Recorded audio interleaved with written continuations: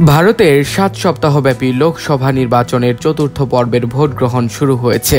এ পর্বে নয়টি রাজ্য ও কেন্দ্রশাসিত অঞ্চল জম্মু ও কাশ্মীরের ছিয়ানব্বইটি নির্বাচনী আসনে ভোট গ্রহণ করা হচ্ছে।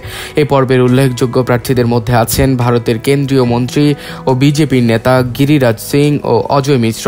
তৃণমূল কংগ্রেসের মহুয়া মৈত্র, শত্রুঘ্ন সিনহা, সমাজবাদী পার্টির অখিলেশ যাদব, কংগ্রেসের অধীর রঞ্জন চৌধুরী এবং ন্যাশনাল কনফারেন্সের Omar Abdullah.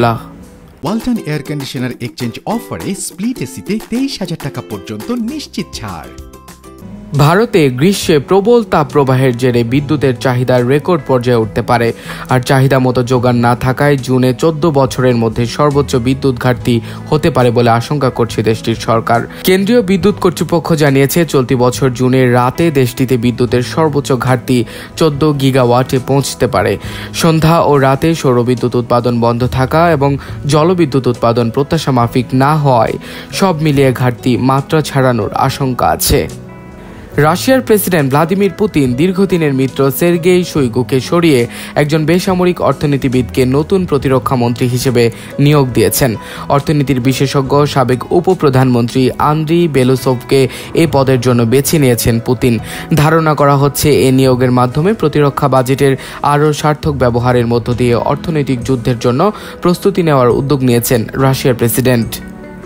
ইন্দোনেশিয়ার পশ্চিম সুমাত্রা প্রদেশে একটি আগ্নেয়গিরি থেকে নেমে আসা হরকা বান ও শীতল লাভার স্রোতে অন্তত একচল্লিশ জনের মৃত্যু হয়েছে। শনিবার কয়েক ঘণ্টার ভারী বৃষ্টির পর সুমাত্রার সবচেয়ে সক্রিয় আগ্নেয়গিরি মারাপি থেকে পানির তীব্র স্রোতের সঙ্গে আগ্নেয়গিরির ছাই ও পাথর নেমে আসে। এই কাদার স্রোতে দুটি জেলা তলিয়ে যায় এবং শতাধিক ঘরবাড়ি, মসজিদ ও সরকারি স্থাপনা ক্ষতিগ্রস্ত হয় ও লোকজনের মৃত্যুর কারণ হয়।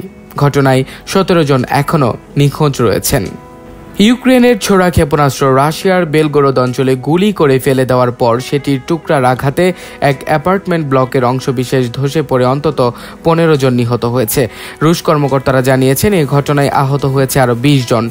এটি সীমান্তের নিকটবর্তী বেলগোরদ অঞ্চলে ইউক্রেনের চালানো অন্যতম প্রাণঘাতী হামলা।